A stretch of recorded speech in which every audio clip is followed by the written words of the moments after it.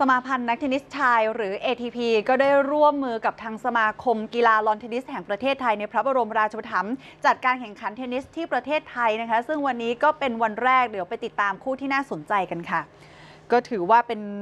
การแข่งขันรอบแรกในวันที่ 2 แล้วนะคะ ขออภัยนะคะ วันนี้เป็นการแข่งขันรอบแรกวันที่ 2สำหรับการแข่งขัน Bangkok Challenger นั่นเอง ซึ่งเป็นระดับ Challenger 100 ชิงเงินรางวัลรวมประมาณ 4 ล้าน 9 หรือเกือบเกือบ5ล้านบาทแข่งขันที่ศูนย์พัฒนากีฬาเทนนิสแห่งชาติเมืองทองธานีค่ะ วันนี้นักเทนนิสมือวางอันดับที่ 1-3 ของรายการก็ยังอยู่ในเส้นทางของการแข่งขันประเภทชายเดี่ยวไฮไลท์ของรอบ 2 หรือ 16 คนสุดท้ายอยู่ที่อาร์เธอร์คาโซ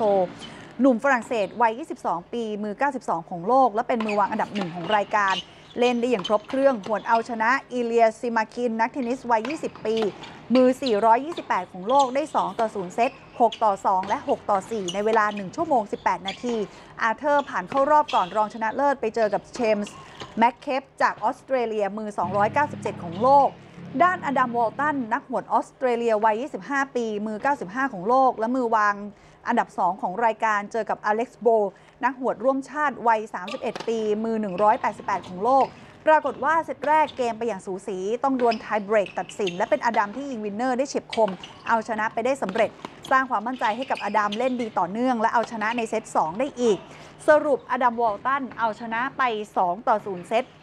สกอร์ 7 ต่อ 6 ไทเบรก 7 ต่อ 4 และ 6 ต่อ 3 ในเวลา 2 ชั่วโมง ผ่านเข้ารอบก่อนรองชนะเลิศ ไปเจอกับโคแมนหว่องมือ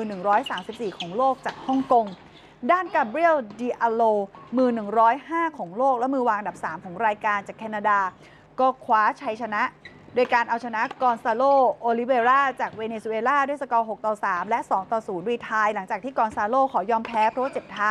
ส่งให้มือวางอันดับ 3 ของรายการผ่านเข้ารอบก่อนรองชนะเลิศทันทีค่ะ